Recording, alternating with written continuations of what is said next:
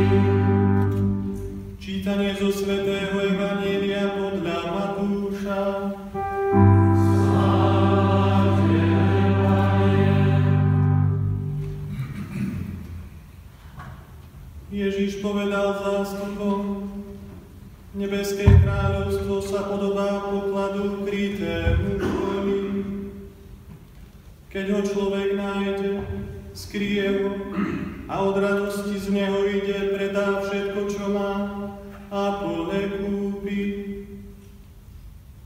Nebeské kráľovstvo sa podobá aj kupcovi, ktorý hľadá vzácne perly. Keď nájde veľmi cenú perlu, ide, predá všetko, čo má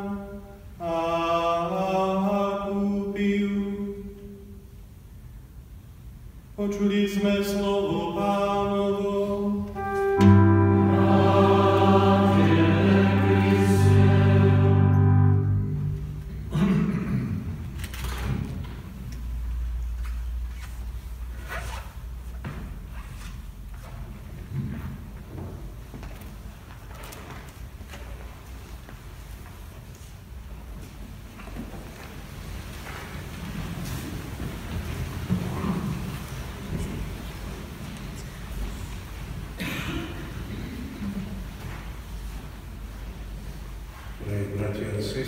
vzácni hostia. Toto naše pápežské slovenské kolegium svetocíla Metoda úradný titul dnes, sa dnes dožíva dôležitých novoty o svojej histórii. Mene slovenských biskupov su prikladni aj predsjedam Srpske konferencije. I mene je dnes otec biskup Jozef Harko uvaraza do ugradu za pritomnosti rimske stvarnosti nového rektora Porto Ustavu. Može se to znati običajno u uradu Biblická slávnosť jej dodáva slávnostného charakteru a upozorňuje nás na dôležitosť tejto inštitúcie, ktorú 15. septembra 1963 na Sviatok sedembolestných patronných Slovenska posvetil ako miestný ordinár kardinál Eugen Tisserov. Toto kolegium či ústav tu jestuje vyše 50 rokov, ponorené medzi stromami, predtým to bolo iba pole. Zvykli sme si na jeho polovu, na jeho jestvovanie, je celkom prirodzené, že postupom rokov sa vymieňajú aj rektory. Prvým rektorom Slovenského ústavu svätého a metoda bol spišský kniaz monsignor Štefan Nahálka. Po ňom nastúpil monsignor, neskôr arcibiskup a apoštolský nuncius Dominik Hrušovský, ktorého vymenil monsignor neskôr bratislavský pomocný biskup Štefan Vrabec, potom monsignor František Novajovský zo spiskej diecézy a monsignor Vladimír Stahovec, rožňovský kniaz. Teraz si prichádza ako rektor kolégia Pavol Zbara, kniaz Žilinskej diecézy, zatiaľ čo košický kniaz Marin Haratín vykonáva úlohu vicerektora. Práve táto zmena je pre nás výzvou, aby sme si znovu uvedomili, čo vlastne je tento slovenský ústav v Ríme, dnes už aj pápežskej kolégiu zasvetené svetému Cyrilovi a Metodovi.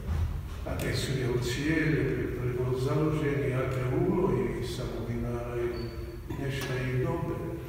Ústav je dnes už ako zrelý strom, ktorý vyrastá zo zdravých koreňov.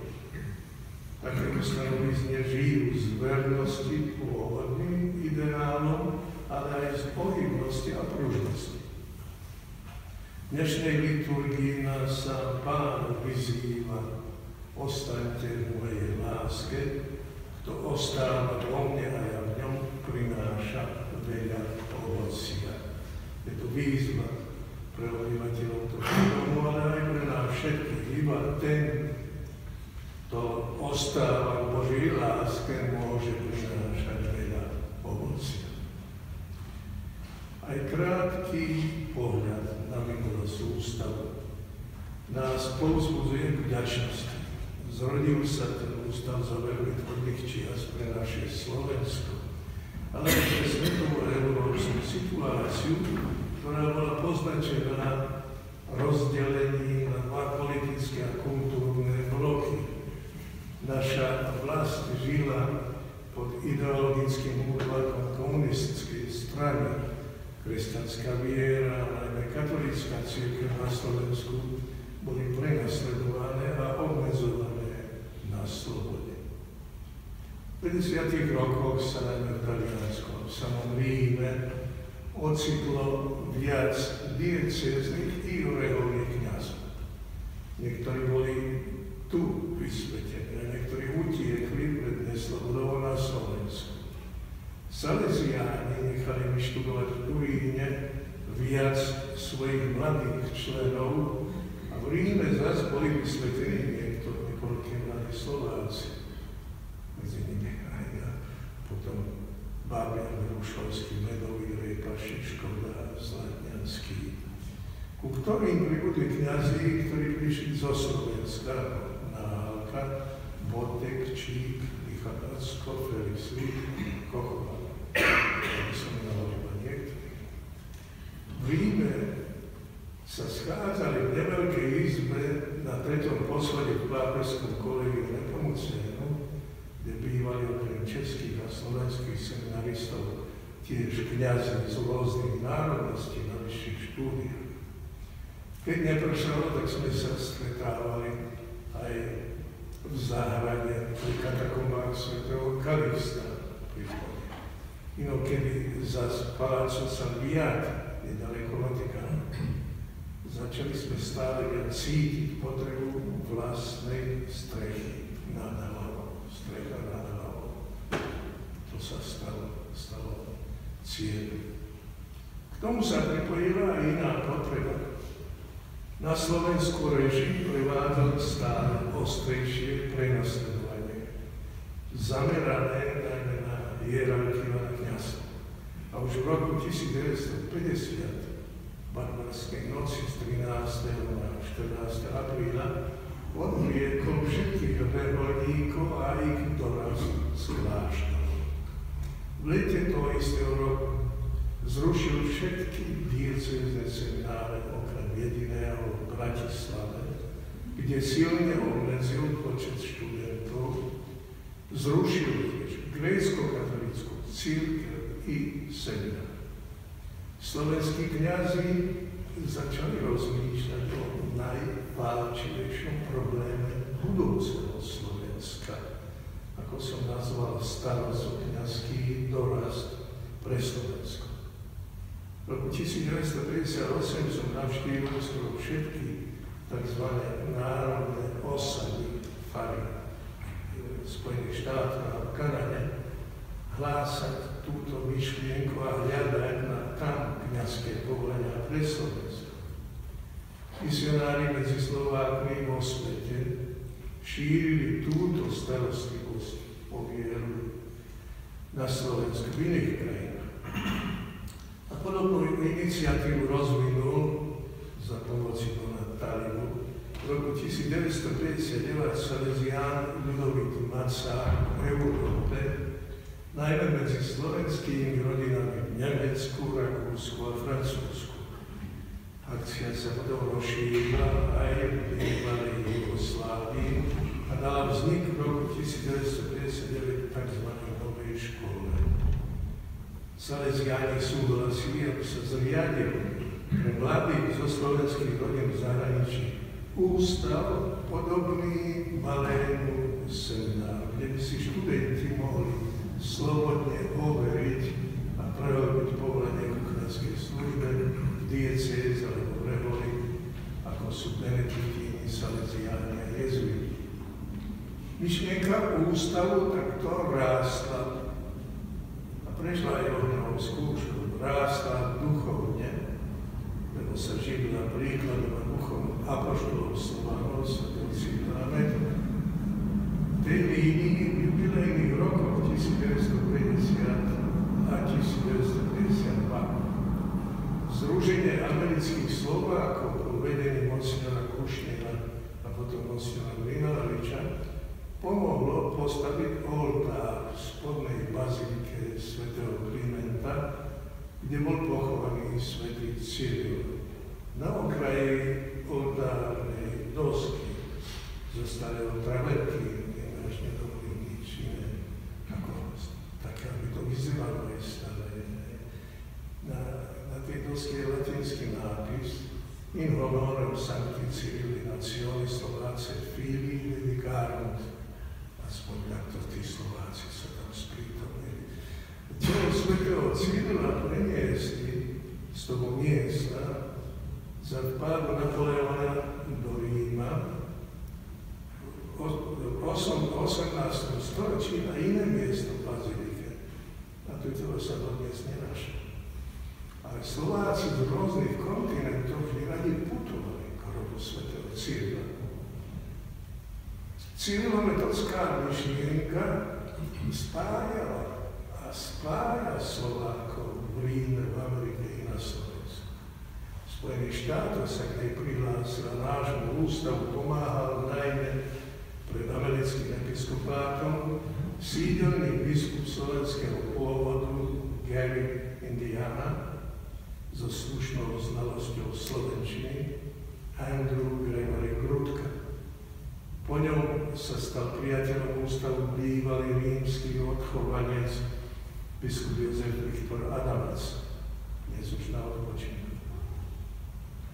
Z reholníkov to boli predovšetkým slovenskí benediktíni z opástva svätého Helena Svorana v kde bol Teodor Kojiš a po ňom Jerome Jeronym Koval. V roku 1955 sa vo väčšnom meste po návšteve amerických dejateľov priláhol monsignora Mlinoviča, pred sebe spomínaného združenia a reverenda Jána Lacha, zriadilo slovenské vydavateľstvo svetého Cyrila a Metoda. Vydalo potom stá tisíce kníh vedeckého a náboženského rázu, ktoré sa poslali zväčša na Slovensku. Cenné sú najmä vydania svetého písma, evanielii dobrých prekladov, zo svetovej a duchovnej literatúry. Takým spôsobom ústav začal plniť svoje poslanie. Ešte prvým, než bol postavený. Ostaňte mojej láske. Kto ostáva vo mne a ja v ňom prináša veľa ovocia. To ovocie sa už hlásilo život. I hneď od začiatku sa viazalo na postavy našich vierozvestov svetlo Cyrila Ohňová skúška však prišla, keď sme sa rozhodli vybudovať v Ríme ústav pre výchovu chlapcov zo slovenských emigrantských rodín, ktorí dávali nejakú nádej na povolenie. Z českej strany z pápežského kolegia Nepomucena prišla obžaloba o Svetej stolice o že nový ústav je výsledok separatistických, politicky inšpirovaných snách namierených proti Nepomuckému. Oplatnený je útok proti takému ústavu, hoci bol obmedzený, čo sa týka poslov, čo to viedli. E, dosiahol proti takému ústavu príjmy, to sa neznášalo. A dosiahol čas, čas dovolení Svetej stolice, že sa môže postaviť taký ústav, ale nie v Ríme. A tu nie je už. Juridicky diecézne už nie je Rím. A na tom sme sa my pozastavili a vyučili toho faktu. A riadením Božím sme našli stavebný pozor i hneď za hranicou rímskej diecézy. Tá je na 12. kilometre. A toto je na 14, 14,5. Takže sme e, vlastne v Ríme, je vlastne svet Ríme. Toto je veľký Rím. Na sviatok 7 bolestný 15. septembra 1963 sme za účasti pútnikov z rôznych svetabilov posviacali nový ústav. Dnes uvádzame nového rektora tejto inštitúcie, ktorá si už vyslúžila miesto v dejinách cirkvi na Slovensku. Ja som náročky chcel toto aj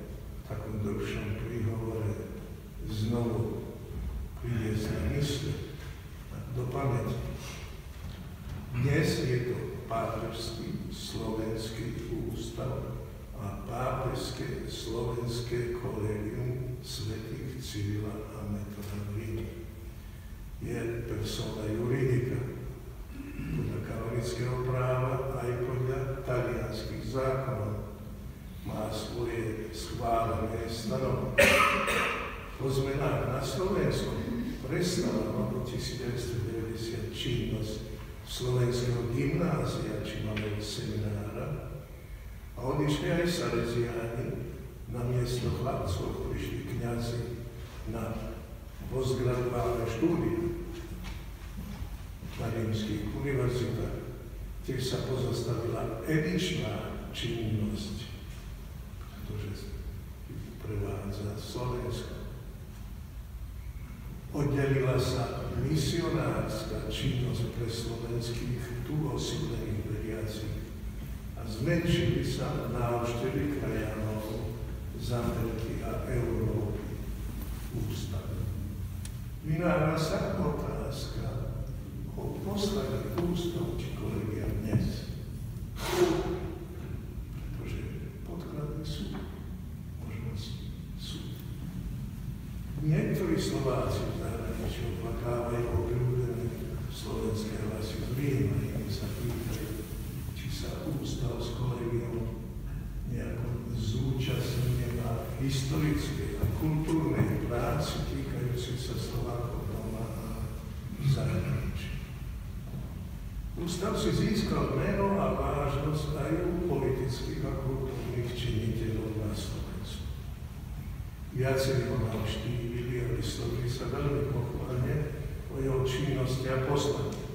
Napríklad minister zahraničných vecí Miroslav Vajčák vyzdvihol jeho zásluhy pre, citujem, pre zachovanie hodnotového a kultúrno-jazykového dedistva Slovákov v zahraničí.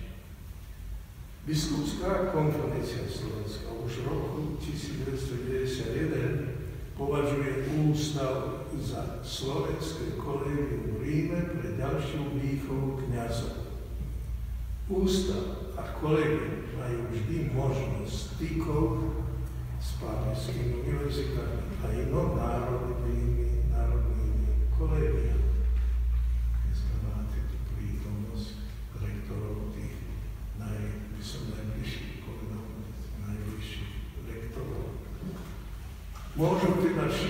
Dobré meno tomu ústave a byť cennou perlou, o ktorej hovorí Jánovo Evangelium.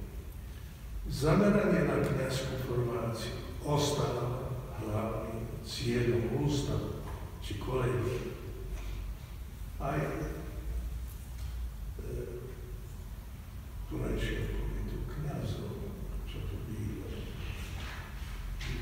Ste tu na to, aby ste rástli duchovne, kniazkej spiritualite, v teologickej kultúre. Vaše nažívanie ako študentov by malo vytvoriť spoločné priateľstvo ako kniazov, ktoré by vás malo sprevádzať aj po odchode na Slovensko. Z Ríma by ste si mali odnášať živý záujem o činnosť pápeža a Svetej stolice, najmä čo sa týka sledovania biskupskej synody a rôznych kongresov, ako aj bližšieho poznania dokumentov, ktoré v Ríme vychádzajú. Tu sa môžete skoro samočinne naučiť živému súžitiu s univerzálnou všeobecnou církou, osvojiť si katolicitu misijné cítenie. Počet kniazov odchovancov rímskeho ústavu je už na Slovensku ústvihodný, potrebujú sa združiť a utvoriť si živé spoločenstvo examinov, tak by som to nazval. Prečo by sa nemohli zaviesť pravidelné skôdzky pre všetkých častejšie? ktorí budú môcť prísť v samo vina, lebo je na slovensku. Dobre pripravljena ovlasna prijeliska sloza s počestva egzalnog ustavu na sposob ad revidentum maturantovo. I potješila mi se noj, da već slavu Božiju ta točivnost